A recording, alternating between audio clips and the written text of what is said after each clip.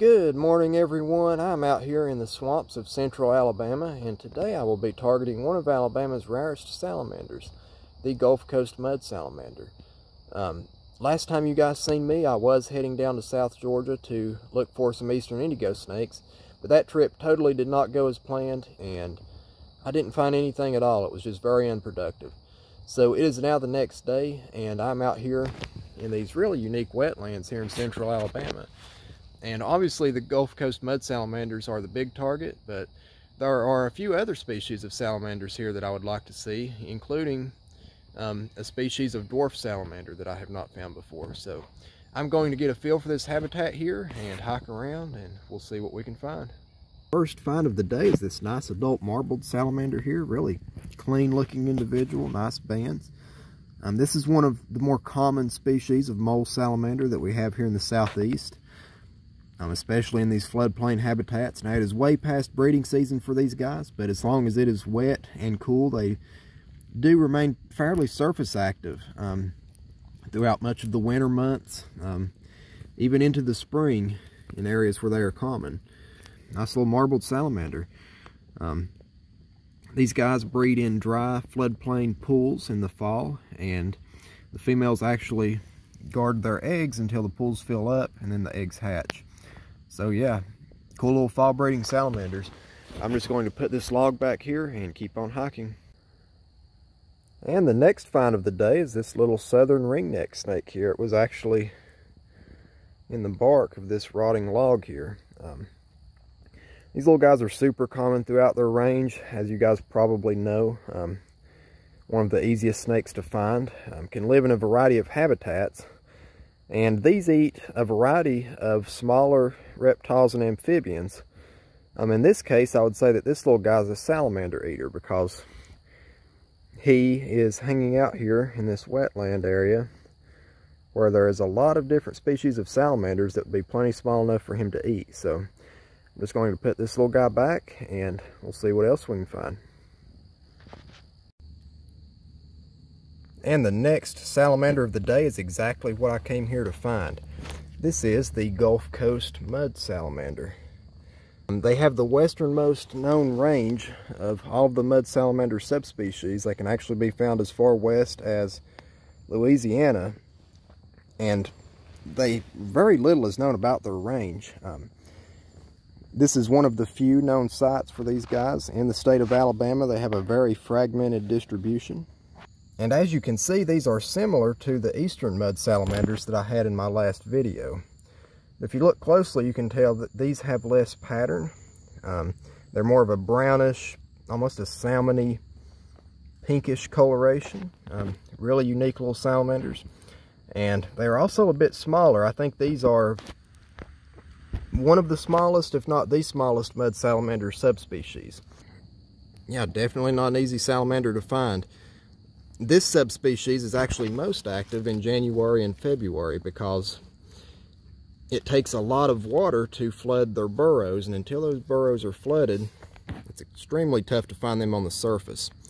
Um, it's a bit early, it's still late November, but we had some good rains, a good temperature drop, and it's enough for these guys to be on the surface. So I'm going to get some great photographs of this little salamander and keep on flipping and maybe we'll find some more.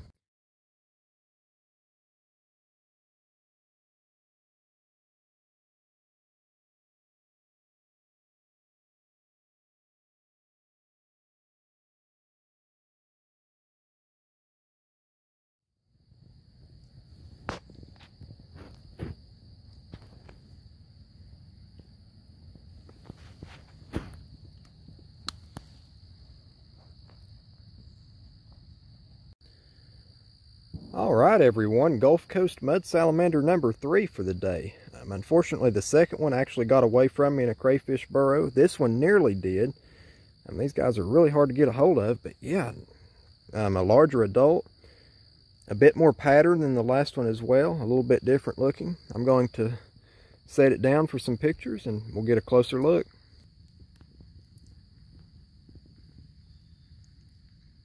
All right, right here is a closer look at this gorgeous little Gulf Coast mud salamander. This one is prettier than the last one. Also a lot chunkier. Um, Probably has a belly full of earthworms. These guys actually have some little unique white speckles along the side, and I have not seen that in other subspecies of mud salamanders. You can see them right here. Now, the underside is actually solid. There's no speckles, and it is that salmony orange pinkish coloration. Do you see the nice little white speckles? Um, a little bit of brown and black speckling on top. Um, all around just a really unique looking little salamander. It's going to be hard to top this one, but I still have plenty of time ahead of me. It's only 9 a.m. right now, so I'm going to give it a shot. But I'm going to get some good photographs of this guy as well. And I'd actually be a female, but um, anyway, I'm going to get some good photographs and put this individual back. And right here we have another nice marbled salamander. I have moved to a slightly drier habitat away from the water just to change things up a bit. Um, again, way past breeding season for these guys. All of the pools are full now. Um, you know, their eggs have hatched. There's larvae in the water, but they are still out. That's a good sign of a health, healthy population here. Um, yeah, another good looking marbled salamander. As you can see, there's still little isolated pools of water, but nothing as consistent as what I was in back there. So yeah, I'm going to keep on hiking, let this little marbled salamander go in its burrow here, and maybe we will see some more ambystomatids. And right here we have Gulf Coast Mud Salamander number four for the day. This is getting insane. This is the biggest and chunkiest one yet too. For this subspecies, this is actually pretty large. Um, this may be a gravid female. Right here is one more look at this big, chunky adult Gulf Coast mud salamander. Upon further inspection, I'm pretty confident that this is in fact a gravid female, so I'm not going to bother her too much. I have her here in some shallow water where she will feel safe, but there's really nowhere to escape to. Um, but yeah, this is about as nice as you're going to get for this subspecies. Big, chunky, pretty long. Um, appears to be a decently old adult. Um, obviously, this subspecies is smaller overall because they have a harsher environment. A much shorter season to be out because it gets really hot and dry here in the summer. And really, they are living most of their lives underground other than when these burrows flood. And I will show the habitat and talk about that here once I get done flipping these adults. But um, yeah, what an incredible salamander. I'm going to get some quick photos and put her back under her log and we'll see what else we can find.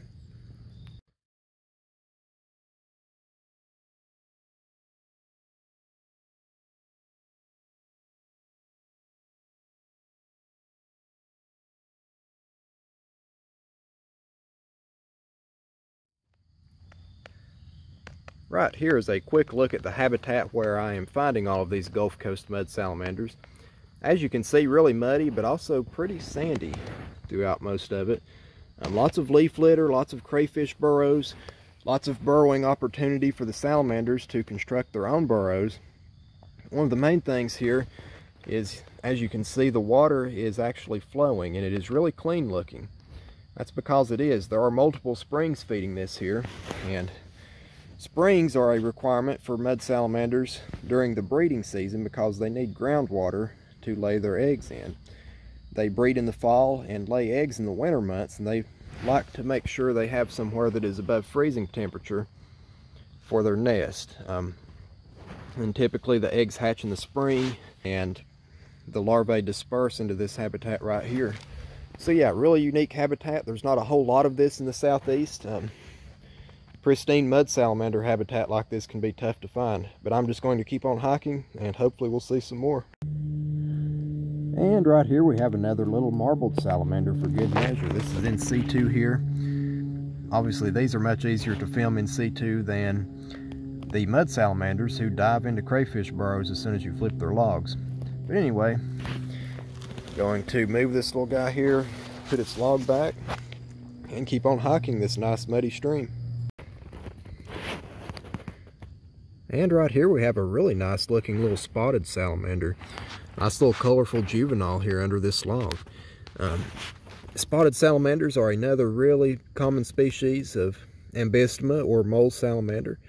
that occurs throughout much of the southeast, but these guys actually move to fish-free ponds in the late winter and early spring to breed, whereas the marbled salamanders lay eggs on land and breed in the fall. So it is just the beginning of the season for these guys. I will probably be seeing a lot more of them as winter and super early spring progresses. Um, they typically breed into about February down here.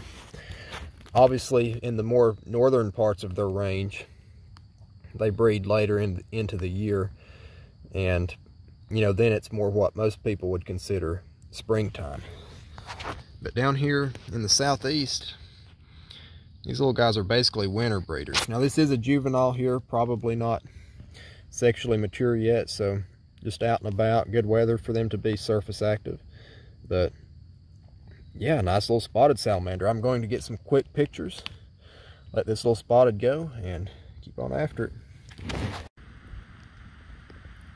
Right here we have Gulf Coast Mud Salamander number five for the day. This is just a thin little juvenile here, but still really nice.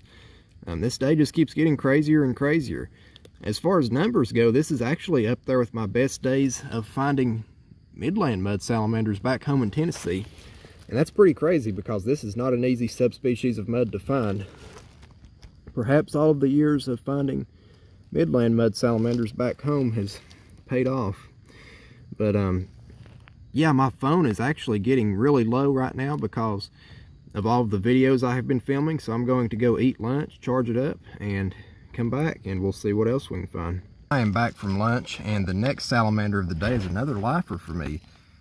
This little guy is the Hillis's dwarf salamander, Eurycea hillisi. These are among the smallest salamanders in the world, um, right up there with pygmy salamanders and some of the other little tiny plethodontids that exist out there. Um, now this is one of several species of dwarf salamander, but most of them live in pretty similar habitats. Um, typically slow moving streams and floodplain swamps in pine forest is where you find these little guys. And oddly enough, these have been the hardest salamander of the day to find. I actually had one get away from me earlier and I was starting to get worried that I wouldn't find another one, but sure enough, the first log I flipped right here, as soon as I made it back into the wetland area here, had this little Hillis's dwarf salamander under it. To my knowledge, these are the smallest members of the genus Eurycea. And I think they are one of the more recently described um, species of dwarf salamanders. I'll have to check up on that. But yeah, really unique little salamander appears to be a male here. You can sort of see his little cirri. If you look, there are some little round bumps underneath where his nostrils would be right here.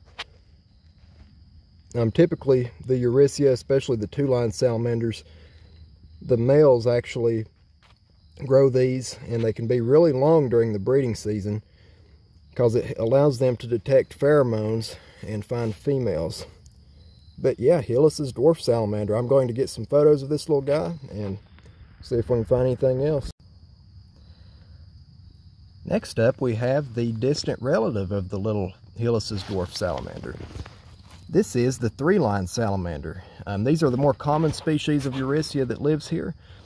They are commonly found along floodplains, um, slow-moving sluggish streams, swampy areas. They can occasionally be found around rock formations, in the upper Piedmont and the southern part of the Blue Ridge Mountains. But typically they are found in these lowland habitats. And they are basically the Piedmont and coastal plain equivalent of the cave and longtail salamanders that many of you may be more familiar with in the Appalachian Mountains. I actually grew up with those and I have not found many three-line salamanders. So even though they are common, I appreciate seeing them. Um, these little guys are actually pretty good climbers, even though they don't have to use that ability throughout much of their range here in these swamps, other than maybe to, you know, climb up trees in search of insects or something. But yeah, three-line salamander. As you can see, there are two distinct stripes down the side, one on the back here, and that's where they get their name. But I'm just going to put this little guy back and we'll see what else we can find. And the next salamander of the day is this perfect example of an adult spotted salamander here. This is a beautiful, really dark individual, really vibrant yellow spots, and it has the nice orange contrast with the spots on the head if you look closely. You can see it transitions from yellow to orange there. That's one of my favorite color variations of the spotted salamanders. This is a good sized adult here, not the biggest individual, but just really nicely marked. Um, nice and dark on top. A lot of spotteds are more of a grayish coloration, but this one is almost black, with the exception of its sides. But yeah, really nice spotted salamander. This one was actually found in more traditional habitat here. As you can see, I'm in the one of the larger areas of this wetland here where it makes basically a vernal pool and this is the pond that these spotted salamanders will be breeding in um, later this winter and maybe into early spring as well. Yeah, really nice spotted salamander. I think this is really about as good as it's going to get for this wetland. I feel like I've almost found everything here if I haven't found every salamander here. So, yeah, I'm going to explore some other wetlands and start wrapping the day up. Ha ha, check it out. Four-toed salamander. This is actually something that I was starting to expect to see at the other side, even though I hadn't heard of them being found there, because I was starting to see some sphagnum moss. Um, these are lungless salamanders, and they are the only members of the genus Hemidactylium. And one way you can tell these apart from other small woodland salamanders is, if I can get it to focus here, the easiest way to identify these is they have a solid white belly with black polka dots, almost like a Dalmatian type pattern. And they are only the only salamanders in the world that look like this. Definitely the only salamanders in their range that look like this. This actually appears to be a gravid female here. These also breed in the fall and they lay eggs in mossy areas, kind of like this right here at the edge of seasonal wetlands. Um, their preferred moss type is actually sphagnum moss. The females will actually attach their eggs up underneath that moss and they will remain with them until they hatch and then they have a very short larval period so they only you know, so they really only have gills for about a month or a little over, if I'm thinking correctly, about 30 days. And then they morph into miniature versions of the adults. So, yeah, really cool natural history with these. This is just a beautiful one, too. Nice orange coloration. Beautiful tail. Um, nice, healthy adult four-toed salamander. Can't beat that. I'm going to get some photographs of this big girl here and we'll see if we can find anything else. I'm loving the diversity here. This is actually an incredible region for salamanders. All right, I just left and I'm currently driving back to North Georgia. Um, really productive day today. You know, it's getting close to dark now and I put in a full day in those wetlands, so I feel like it's a good time to call it a video here. I'm extremely happy with that. Just, you know, awesome diversity today. Uh, hope you guys enjoyed seeing it. You know, um, five mud salamanders is really good for anywhere in the range, let alone down here. And we got two species of Ambystoma, three-line salamanders, dwarf salamanders, uh, four-toed salamander. Lots of really good stuff. Um, it is salamander season now, so expect more videos like this coming your way. I'm going to be taking trips to film similar diversity, but in other areas, and target some other species, kind of like the Gulf Coast muds that just don't get much attention, and you know, not many people find them. So yeah, um, as you guys know, I love all reptiles and amphibians, but salamanders are my favorite animals, and I feel like I'm better at finding them than anything else. So yeah, as the season progresses, I look forward to showing you guys more. But like, comment, and subscribe if you want to, and I will see you guys next time I go out. Thanks for watching.